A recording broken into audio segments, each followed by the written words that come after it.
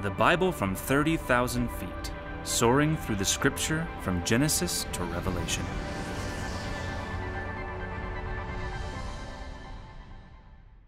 We're in the book of Zechariah tonight, and um, Lord willing, I want to finish the Old Testament tonight. That's just Lord willing. So we want to jump right into it. This is the Bible from 30,000 feet. We are looking at a general overview, and we want to look at the last two books of the 39 books that comprise your Old Testament the book of Zechariah and the Italian author Malachi after that. Oh, I mean, Malachi. Uh, and, and, and hopefully finish this out. In the New Testament, there are many quotes from books like Genesis, Psalms, and Isaiah. Those are the three big OT, Old Testament books, that are quoted the most in the New Testament, and for good reasons. The subject matter and the length of the book merit them being quoted a lot by New Testament authors. But what you may not know is the book of Zechariah is quoted about 40 times in the New Testament. Four zero times in the New Testament. Why? Because it is so obviously messianic. And the New Testament authors knew that. And so much of uh, the quotations that deal with the coming of the Messiah, the second coming, are from the book of Zechariah. If you were to read the Old Testament from cover to cover, and I assume some of you have done that, you would discover that there's not just one person named Zechariah. There are, guess how many? 30 different Zechariahs. Uh, this is one of them. And this is the most notable one of them. Uh, he was a priest, that is, he was born in a priestly family. Uh, he was not born in the land of Israel, he was born in the captivity of Babylon, but then came back to Jerusalem.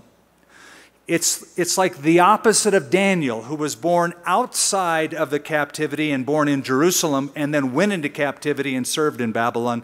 This guy, Zechariah, was born in captivity and then went back to Jerusalem to serve. So it's just like the polar opposite. He was a contemporary of another prophet we've already looked at by the name of Haggai. And they were sort of like two peas in a pod. They both had the same ministry, though very different styles.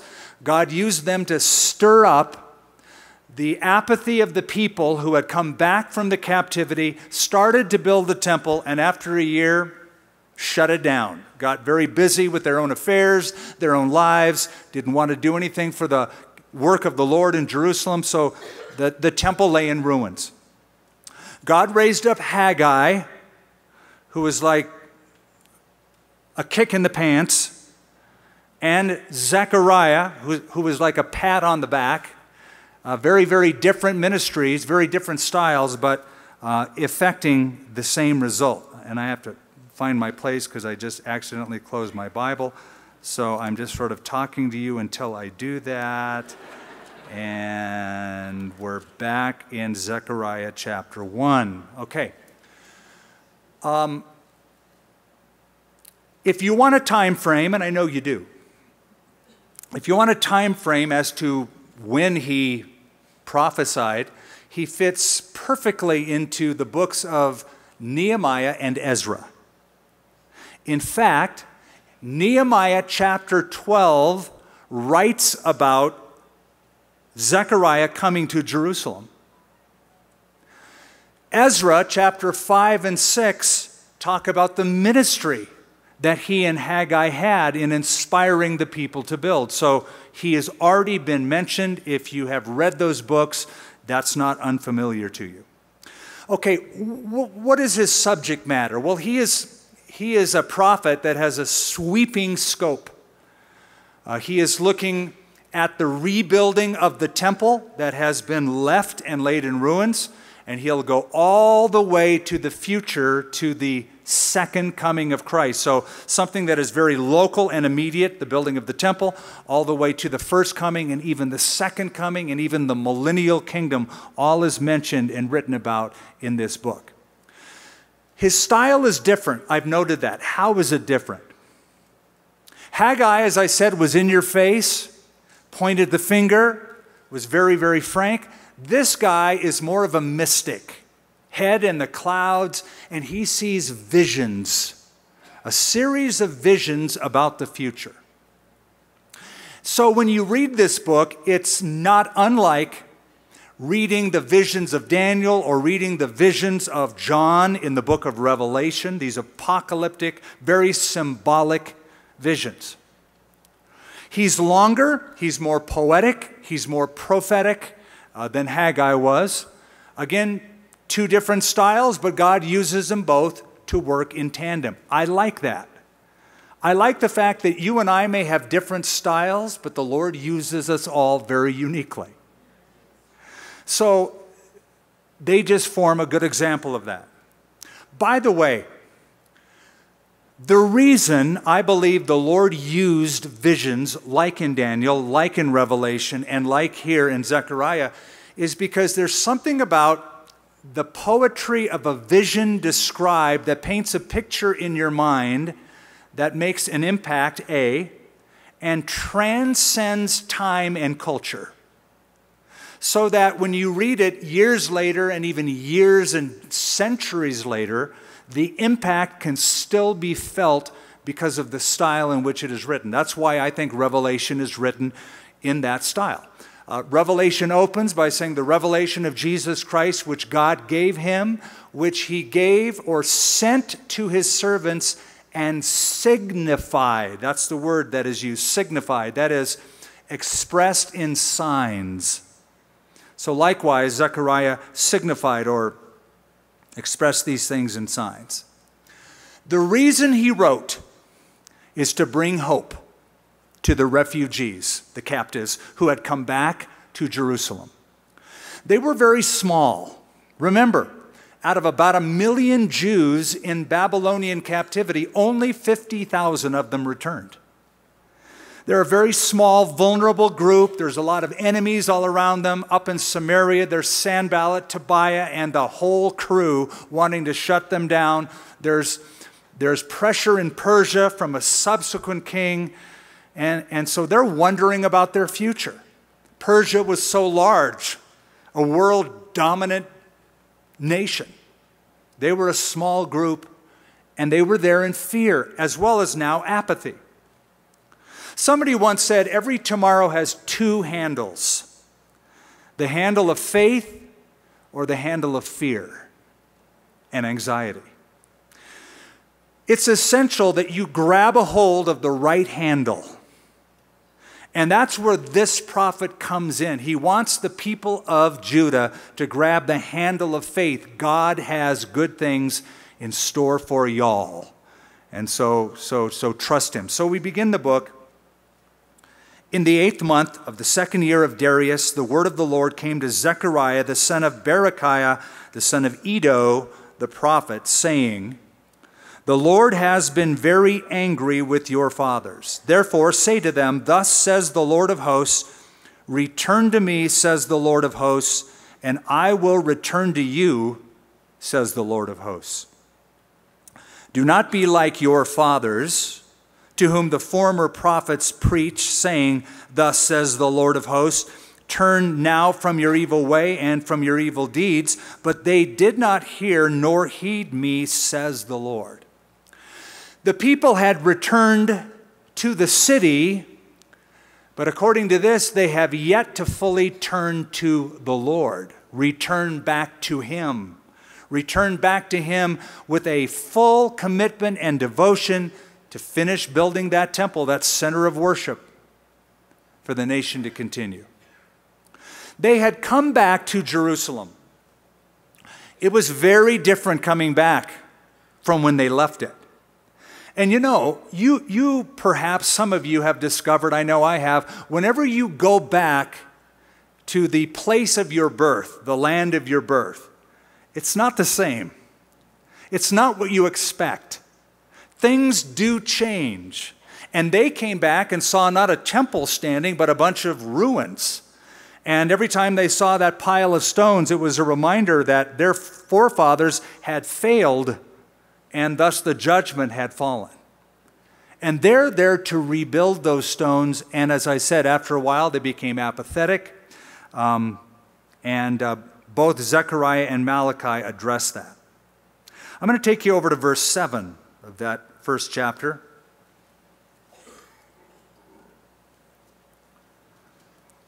On the 24th day of the 11th month, which is the month Shebat, in the second year of Darius, the word of the Lord came to Zechariah, the son of Berechiah, the son of Iddo, the prophet. I'm not going to read all these visions, but there's a series of eight visions about building the temple, all relating to rebuilding the temple. Chapters 1 through 8 are all about rebuilding the temple. Chapters 9 through 14 are all about the Messiah who is coming, coming again, and will rule and reign forever. The first vision, beginning in the verses we just read, are about a man standing among the myrtle trees, seated on a horse. Behind him are other horses. It is a short but sweet vision about how God intends to prosper the nation of Judah back in the land. Verse 8 says, I saw by night, and behold, a man riding on a red horse. It stood among the myrtle trees in the hollow, and behind him were horses red, sorrel, which is sort of like a reddish brown, and white. Laurel trees are not big trees. They top out at about eight feet or so, but they're hardy. They're evergreen and they're hardy. Hard to kill them. And uh, this is a picture of the nation of Israel. They had been attacked so many times. They had recently been decimated by the Babylonians, before that, the Assyrians, but they're still there. They're back. And so it's, it's a vision of hope that they're going to be able to withstand even this, what they have gone through. Down in verse 16, therefore, thus says the Lord. You'll see how he fleshes this out. I am returning to Jerusalem with mercy. My house shall be built in it, says the Lord of hosts, and a surveyor's line shall be stretched out over Jerusalem. There's going to be some expansion going on, there's going to be building going on. In chapter 1, verse 18 takes us to the second of those eight visions. And this is a vision of four horns. Now, if you know your Bible, you know that horns are symbols of authority, symbols of power, usually symbols of, of powerful nations. And these are nations that at one time um, had Israel under their thumb. They were in control, they were dominated over Israel and Judah. And as the vision continues, there are four stonemasons or craftsmen that, that break these horns or, or, or lose the horns. They, they get rid of them, so they overpower them. Um, well, let's read verse 18. I raised my eyes and I looked, and there were four horns. And I said to the angel who talked with me, What are these? It's always a good question if you don't know what you're looking at, especially when it comes to biblical things. You know, sometimes we like to nod our heads like, yeah, that's really deep. It's so deep, I have no idea what you're saying. so it's better to just say, hey, what's up? What am I looking at? What do these things mean? So he does. And so he answered me, These are the horns that have scattered Judah, Israel, and Jerusalem. And then the Lord showed me four craftsmen. We don't exactly know who these nations are. My guess is they represent the same four nations as seen in the prophecy of the book of Daniel.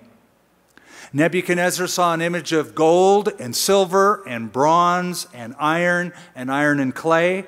And the gold was Babylon, followed by Medo Persia, followed by Greece, followed by Rome, all of which subjugated and persecuted the Jewish people. Daniel had his own vision of the same kingdoms, but in his vision in Daniel 7, it was wild beasts. It seems that these four horns fit those four nations as once dominating Israel, but all being pushed aside and Israel surviving through the midst of it. Chapter 2 brings us to the third vision, and that is a vision of a measuring line. Remember, we just read about that. A surveyor's line over Jerusalem because it's going to expand. So, verse 1 I raised my eyes and I looked, and behold, a man with a measuring line in his hand. So I said, what are you, Where are you going? He said, To measure Jerusalem to see what is its width and what is its length. The vision goes on to basically explain that Jerusalem, however big it was at that time, would expand and grow.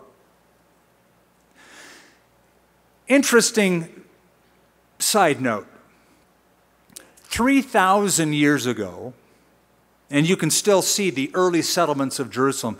3,000 years ago, the population of Jerusalem was about 2,000 people at its peak.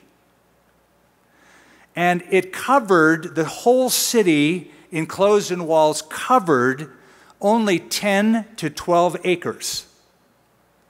That was the city of Jerusalem. 10 to 12 acres, enclosed by a wall, 2,000 people. That was Jerusalem. Today, the population of Jerusalem is not 2,000 people, it's 875,000 people, close to a million people in one city. The square mileage of the city of Jerusalem, far from 10 to 12 acres, is 49 square miles. It has expanded, that measuring line has gone way out. There's gridlock in the holy city. Over in chapter 3, we get vision number 4, and it's a vision of Joshua. Not Joshua in the Old Testament after Moses, but Joshua, the high priest, who served alongside Zerubbabel. Remember Zerubbabel? We've already noted his name. Zerubbabel was the civic leader, like the mayor or the governor of the city. Joshua was the religious leader, the high priest, and this is a vision of the cleansing of the high priest, emblematic of the cleansing of the nation itself. Verse 1 Then he showed me Joshua the high priest standing before the angel of the Lord, and Satan standing at his right hand to oppose him. Now we can relate to that, can't we? We who serve the Lord, we who follow Jesus, we have an adversary. That's what Satan means an adversary, an enemy, who opposes uh, everything you want to do or, or, or activate in serving the Lord. He wants to oppose you. And this is interesting, verse 2. The Lord said to Satan, The Lord rebuke you, Satan. Now that's interesting. He didn't say, I rebuke you, Satan, which he could. Um, he, he can. He is the Lord who created the devil. He created Lucifer, who became the devil. But he, the Lord said, The Lord rebuke you. He used the third person. The Lord who has chosen Jerusalem rebuke you. Is this not a brand plucked from the fire? Speaking of Joshua. Now Joshua was clothed with filthy garments and was standing before the angel. And he answered and spoke to those who stood before, saying, Take away the filthy garments from him. And to him he said, See, I have removed your iniquity from you, and I will clothe you with rich robes. I see here something that I've always felt strongly about. When it comes to spiritual warfare, we should never deal directly with the devil. I've heard believers become very emboldened and um, they'll be praying and then they'll, in their prayer sort of pivot from praying to God to talking to the devil, which I think it's, it's just never, never good. Why, why pray to him? And saying something like, Satan, I rebuke you in Jesus' name, or Satan, we rebuke you. Even the Lord didn't use the first person. Even the Lord said, The Lord rebuke you.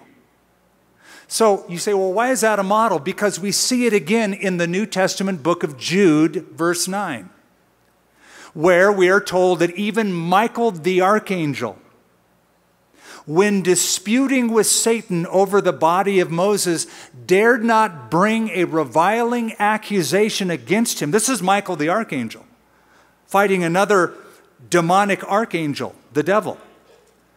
And it said he didn't even bring a reviling accusation, but rather said, The Lord rebuke you. So I don't even like to talk to the devil. I don't think it's good form for a Christian to have conversations with him. The Bible says resist the devil, not carry on a negotiation with the devil. Don't even talk to him. When the devil knocks at your door, ask Jesus Christ to answer it. You don't have to even engage him. And and let's just say you don't have to worry about him. Oh, it's the devil. So, what's new? Oh, well, it's the devil. Sometime go study one of the great hymns of the church, written by Martin Luther called A Mighty Fortress is Our God. There's great lyrics in that hymn.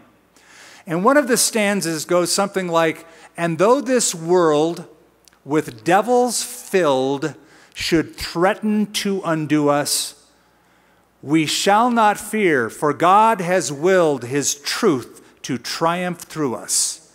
The prince of darkness grim, we tremble not for him. One little word shall fell him. God will speak one word and he'll be incarcerated and he'll eventually be destroyed. Uh, the, the, the song goes on to say, his rage we can endure, for lo, his strength is sure, and his doom, Satan's doom, is sure. So, good to study the scripture and, and to study those who use the scripture to write their worship songs like that. Now, that's the fourth vision. The fifth vision is in chapter 4. It's a vision of, uh, of a menorah. Do you know what a menorah is? A seven branched candelabra that was in the tabernacle, later on in the temple. It is a fire that burned before the altar of incense and the table of showbread. It, it was representative of the presence of God among his people. But in chapter 4, it's a vision of a menorah that I would best describe as an automated menorah. Before the days of modern technology, it's a seven branch candlestick Above it is a collecting bowl that had olive oil into it. Pipes went out from this bowl to the heads of the lamps to keep them lit. And on, the either, on either side of the menorah and this receptacle were two olive trees. So the oil was olive oil. So the olive oil was being produced by the olive trees, fed into the receptacle, and by gravity taken to the lampstand. So you know, usually the priest would have to fill it every day. This thing's automated. Check this out. Verse 1 Now the angel who talked with me came back and, and wakened me as a man who was wakened out of his sleep. Oh, by the way, all of these eight visions happened in one night. You think you have weird dreams after your pizza with onions at 11 o'clock at night? eight of these crazy visions inspired by God, not pizza, not falafel, not hummus, not onions, but the Spirit of God in one night. So he gets woken up and he said to me, What do you see? So I said, I'm looking, and there's a lampstand of solid gold with a bowl on top of it. And on the stand, seven lamps with seven pipes to the seven lamps. Two olive trees are by it, one at the right of the bowl, the other at the left. So I answered and spoke to the angel who talked with me, saying, What are these, my Lord? And the angel who talked with me answered and said to me, Do you not know what these are? And I like it. I love his honesty. I answered, No. So he answered me, This is the word of the Lord to Zerubbabel, not by might, nor by power, but by my spirit, says the Lord of hosts. You recognize that verse? Very famous, very familiar to you, often quoted. Who are you, O great mountain? Before Zerubbabel, you shall become a plain. He will bring forth the capstone with shouts of grace, grace to it. In other words, whatever obstacles you face in rebuilding this temple, it's going to happen. You tell Zerubbabel this vision. God's going to do it. It's not going to be by human strength, it's not going to be by human wealth, but by the power of the Spirit, it'll get done. Rely on that, Zerubbabel. Don't say, we don't have enough money, we don't have enough resources. Just get it done. God will give you what you need. Not by might, not by power, but by my Spirit, says the Lord. I love this because that's how I explain the existence of this fellowship in Albuquerque, New Mexico. I didn't come here with a demographic study of the area or uh, being financed by a group with a vision and a plan, and we're going to do this and do that. I had no experience and I had no idea what I was doing. And those who know me say, and you still don't. and if that's so, I'd rather keep it just like that. It's a good arrangement because I may not, but he does. And so, well, how do you explain the success of this church? Not by might, not by power, but by my spirit, says the Lord of hosts. There are three more visions, which we will not look at, um, all about the same theme. Jerusalem's going to be built, the obstacles are going to be removed. Chapters 9 through 14 take us to that messianic portion of the book, um, all the way to the millennial reign of Christ, the kingdom on earth uh, the first coming of Jesus, as well as, and most principally, the second coming of the Messiah. Keep in mind, these prophets did not see the gap that you and I know to be the church age. Between the first coming of Jesus and the second coming has been an age of grace, 2,000 years of grace, where people from all over the world in different generations, different tongues, largely Gentiles, have come to believe in the God of Israel through the Messiah, the Jewish Messiah, Jesus. Prophets didn't see that gap. They saw these prophecies as all sort of a screenshot. It's, I, I often use the illustration, it's like looking at a mountain range from 40 miles away. It looks postcard flat. But as you get closer, you see that the peaks are separated by valleys. And if you go over it, like if you take the tram over our own mountain, which looks just like a big flat mountain from this town, when you go on the tram, you see the different peaks and the little valleys between them.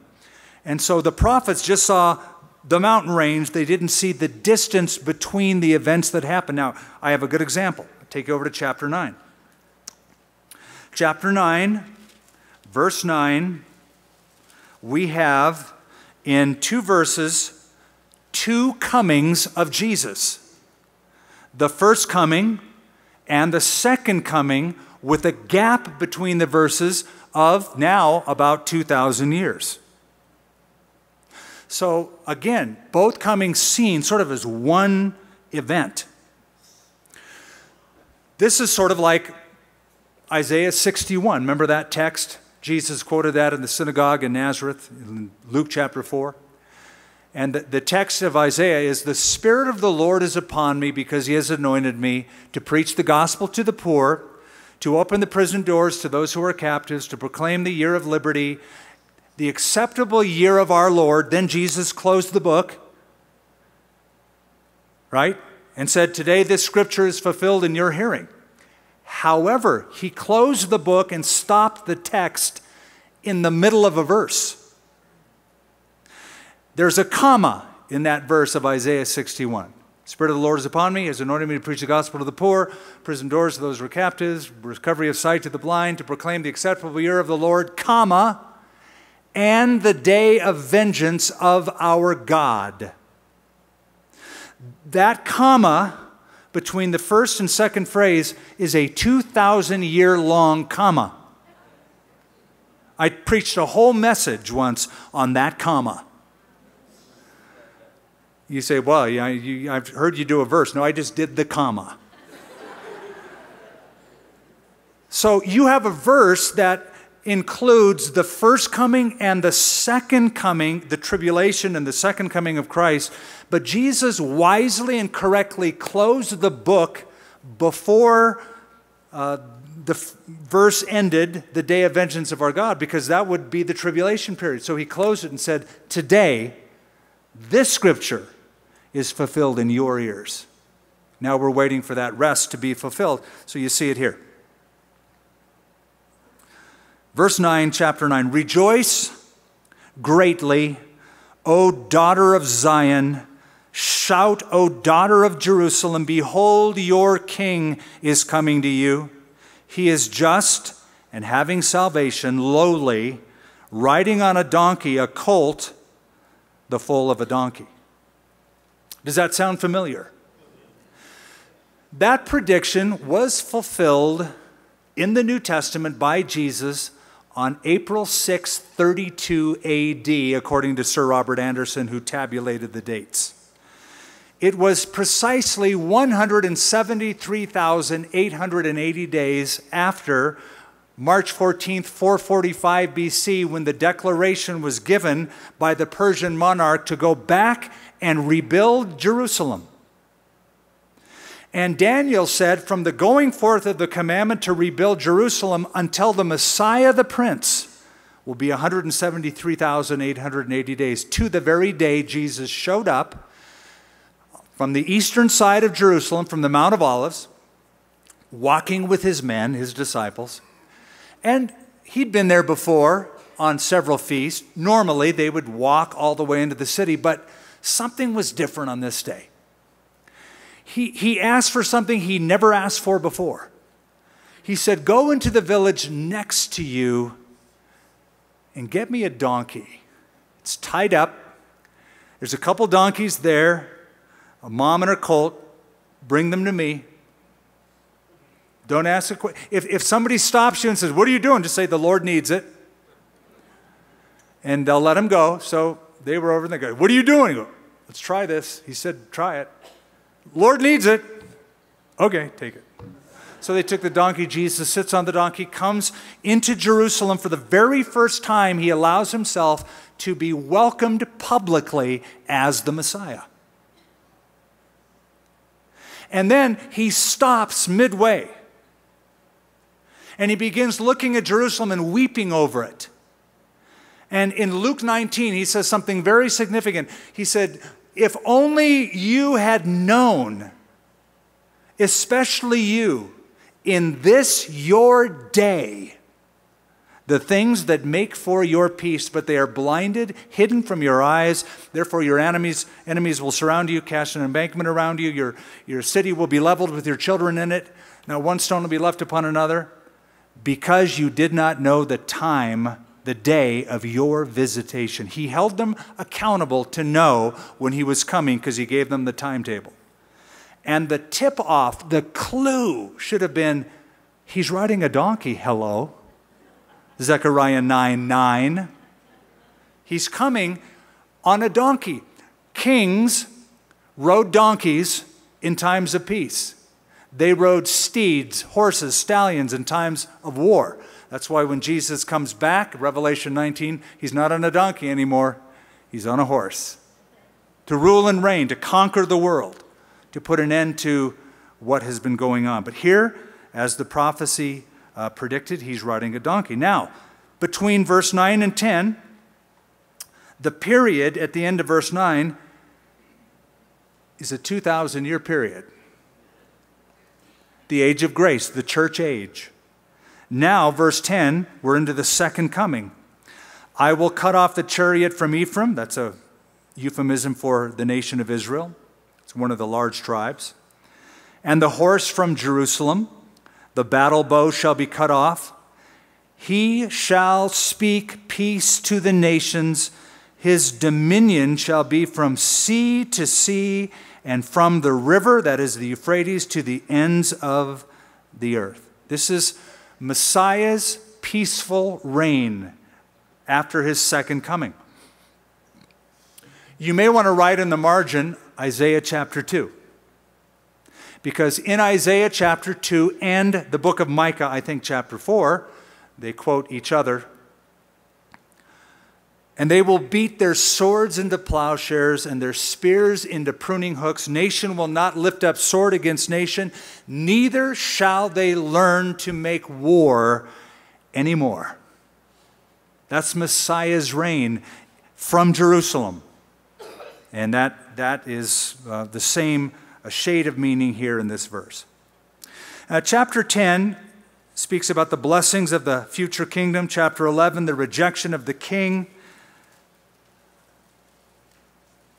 In chapter 11, can we just do this very quickly? Verse 10 I took my staff, beauty, and I cut it in two, that it might break the covenant which I had made with all the people. So it was broken on that day. Verse 11 of chapter 11. Thus the poor of the flock who were watching me knew that it was the word of the Lord. And I said to them, if it is agreeable to you, give me my wages. If not, refrain. So they weighed out for my wages how much? 30 pieces of silver. And the Lord said to me, Throw it to the potter. That princely price they set on me. So I took the 30 pieces of silver, threw them into the house of the Lord for the potter then I cut in two my other staff bonds that I might break the brotherhood between Judah and Israel. The prophet here, speaking of Jesus, paints the picture of Christ as a shepherd asking his flock, What am I worth to you? Expecting them to say, Oh, you're worth everything to us. You're, you're, you have immeasurable worth. But they say, You are worth less than a slave gored by an ox. Now, let me explain that. In Numbers chapter 21, 30 pieces of silver was the price you would pay for a slave gored by an ox. So that's very low. So basically, you're saying you are worth to us less than a slave.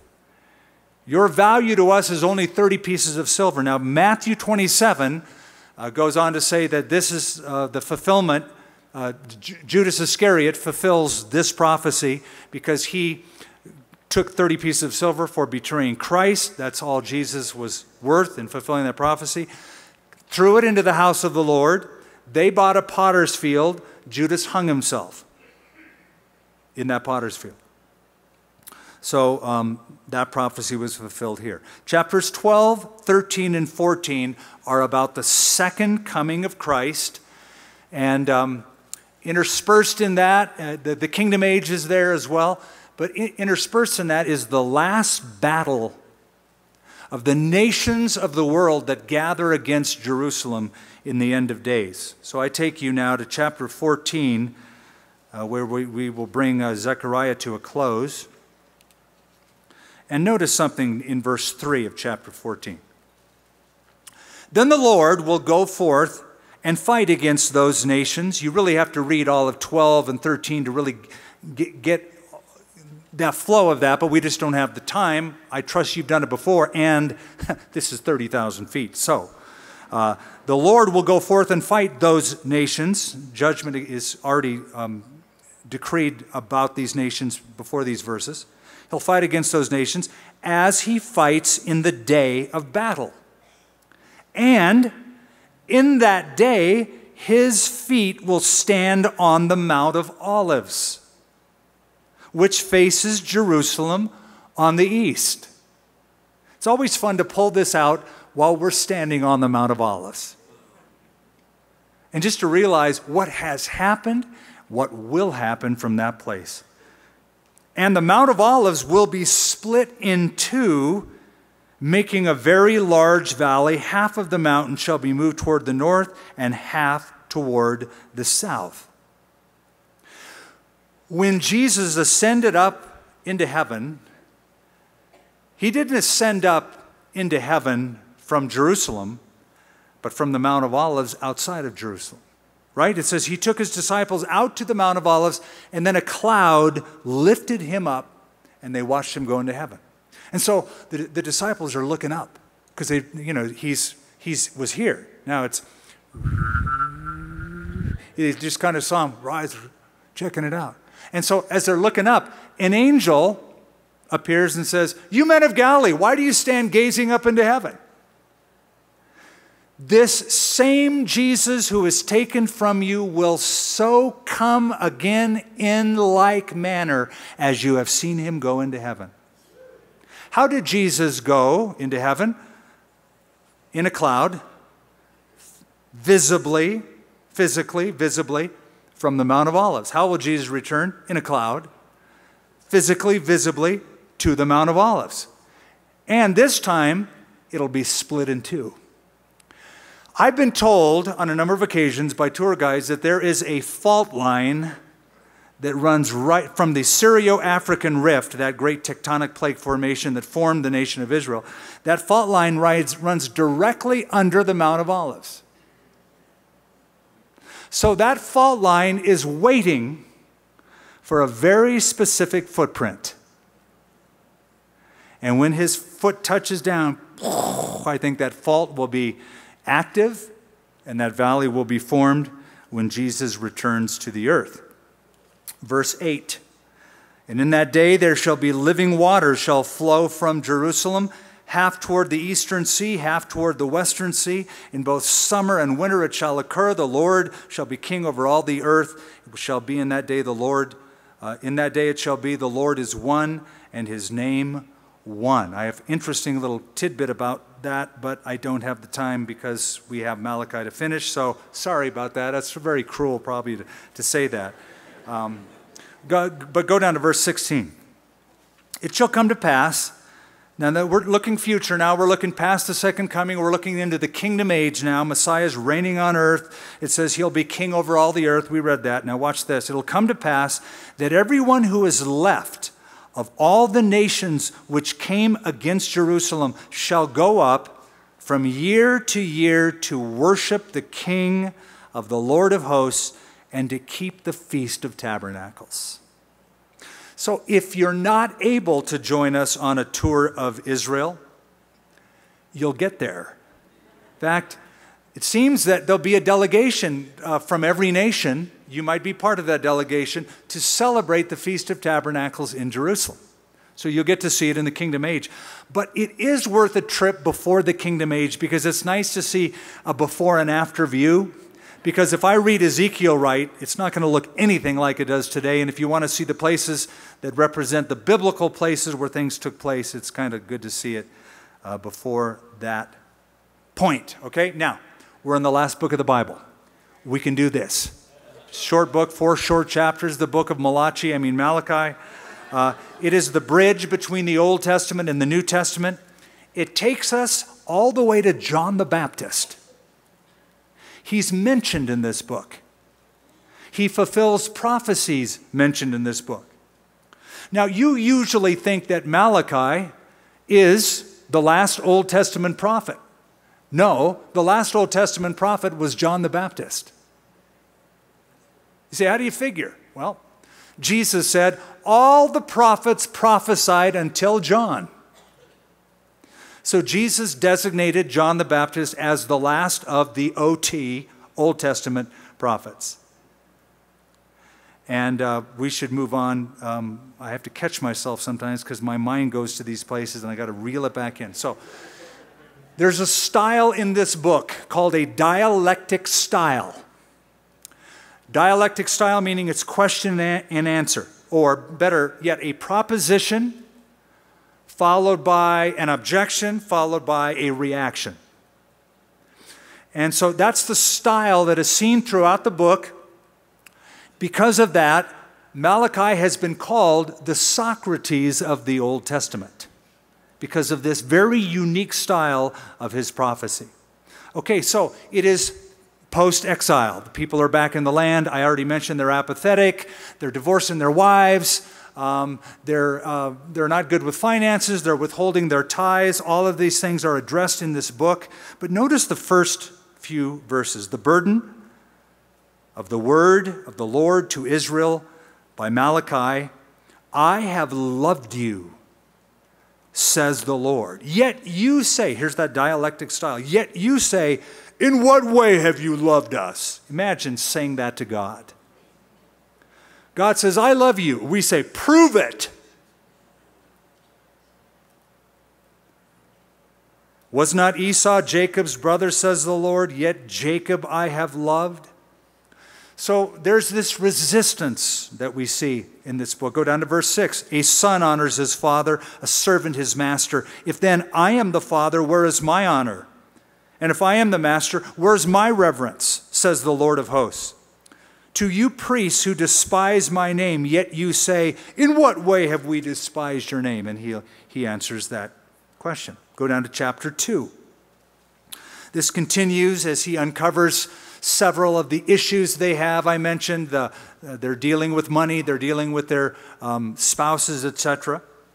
Uh, verse 13 of chapter 2 says, This is the second thing you do to cover the altar of the Lord with tears, with weeping and crying.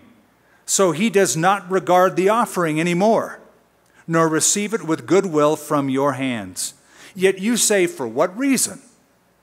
Because the Lord has been witness between you and the wife of your youth, with whom you have dealt treacherously, yet she is your companion, or your covenant companion for life.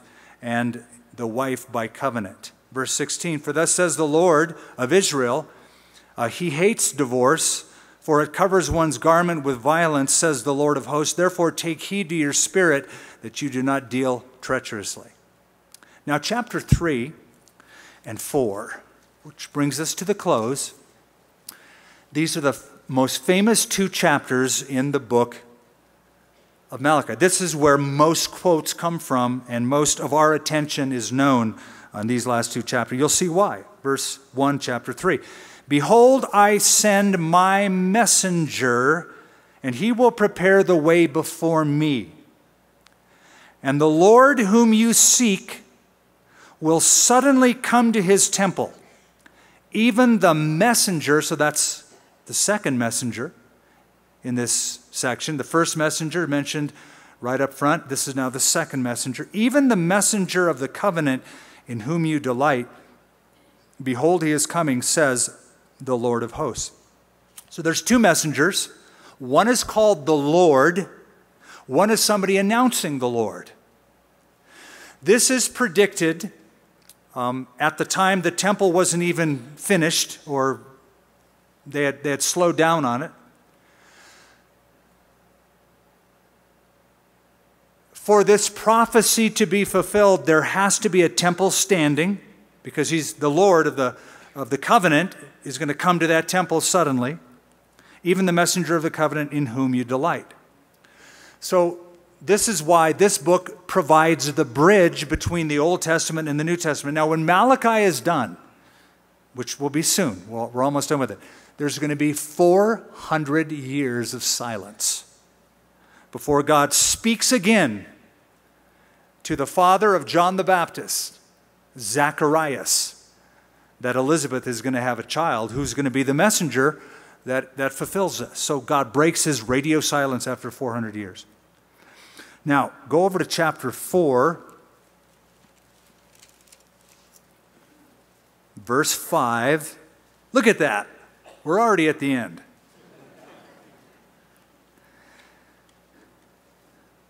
Behold, I will send you Elijah the prophet before the coming of the great and dreadful day of the Lord, and he will turn the heart of the fathers to the children, the heart of the children to the fathers, lest I come and strike or smite the earth with a curse.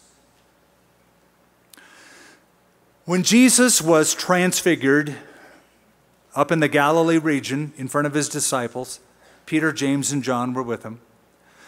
Two people appeared with Jesus on that Mount of Transfiguration. One was Moses, one was Elijah. They were talking about the cross, they were talking about the coming kingdom. Here is the prediction God says, I will send Elijah the prophet before the coming of the great and dreadful day of the Lord. Now, notice the description of what he will do. He will turn the hearts of the fathers to the children, the hearts of the children to the fathers. An angel, as I mentioned, appears to Zacharias 400 years later, father of John the Baptist. So you're going to have a boy, you're going to call his name John. He's going to be God's messenger. He's going to turn the hearts of the fathers to the children and the children to the fathers, which troubles us a little bit or makes us wonder well, wait a minute, that's Elijah, the prophet who is coming. So, in, in the previous chapter, I'm going to send my messenger who's going to make the way for the Lord, the messenger. Now he says Elijah, the prophet, is going to come. Now, as I turn to Luke chapter 1, I'll read to you as we're closing this out.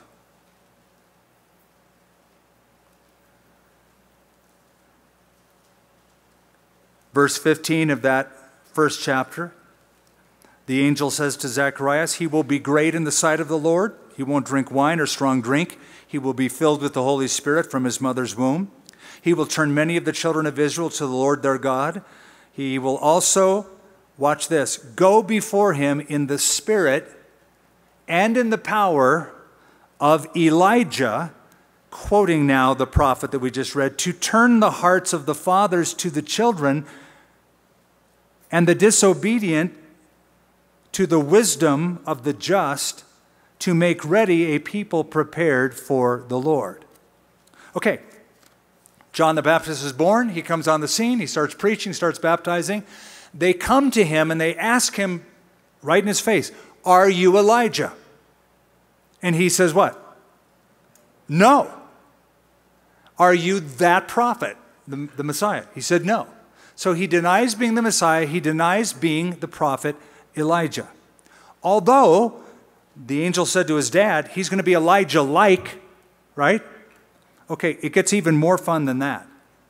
In Matthew chapter 1, Jesus speaking, quoting Malachi in verse 10 of chapter 11 of Matthew. Matthew chapter 11, Verse 10 Behold, I send my messenger before you, prepare your face, prepare your way before you. Assuredly, I say to you, among those born of women there has not risen one greater than John the Baptist, but he who is least in the kingdom of heaven is greater than he. And from the days of John the Baptist until now, the kingdom of heaven suffers violence, and the violence take it by force. For all the prophets and the law prophesied until John. Now, watch this. And if you are willing to receive it, he is Elijah who is to come. Now, we're complicating it a little bit, right? Because because the, the, the, Zechariah hears from the angel, uh, he's going to be like Elijah. Yet John the Baptist said, No, I'm not Elijah. Now Jesus says, If you can receive it, he is Elijah who is to come. Okay, now I'm going to resolve it. Matthew chapter 17. Don't worry, we're closing this book very shortly. I know my time's up. Chapter 17 of Matthew, his disciples asked him, verse 10, saying, Why then do some of the scribes say that Elijah must come first? Well, the scribes are right because the prophet said that, right? Then Jesus answered and said, Elijah truly is coming first and will restore all things. So he's speaking future. John the Baptist has come and gone, right? He says Elijah will be coming in the future. But verse 12, but I say to you that Elijah has come already, and they did not know him, but, to, but did to him whatever they wished. Likewise, the Son of Man is also about to suffer at their hands. Then the disciples understood that he spoke to them of whom? John the Baptist. Okay? So put it all together for you. John the Baptist was a forerunner of the messenger. He came having an Elijah like ministry. In a sense, he was Elijah, fulfilling the ushering in of the Messiah. But the real prophet Elijah, who died, whom Jesus met on the Mount of Transfiguration, will come again before Jesus shows up the second time. When does he come? I think Revelation 11. There are two prophets. And if you look at their description, they smack almost identical of what they're able to do and their description of Moses and Elijah. That, is, that, that happens before the. So, so I hope that solved the puzzle for you. John the Baptist was, in a sense, Elijah, but not the real prophet Elijah, was Elijah oid. Elijah like, but the real prophet Elijah will be resurrected, will come to the earth, and, um, and will have a ministry before Jesus. Okay, the Old Testament ends. And what is the last word in the Old Testament? What's the last word? You have your Bible open still? Curse. Mark that. Because the last verse of the Bible in the New Testament, Revelation says, The grace of the Lord Jesus Christ be with you all. Amen. The Old Testament ends with a curse. The New Testament ends with a blessing. Jesus came to remove the curse introduced in Genesis, maintained here all the way through the book of Malachi but as it says in the Gospel of John, chapter 1, the law came by Moses, which brought a curse. The law came by Moses, but grace and truth came through Jesus Christ. We hope you enjoyed this message from Skip Heitzig of Calvary Church. For more resources, visit calvarynm.church. Thank you for joining us for this teaching from the Bible from 30,000 feet.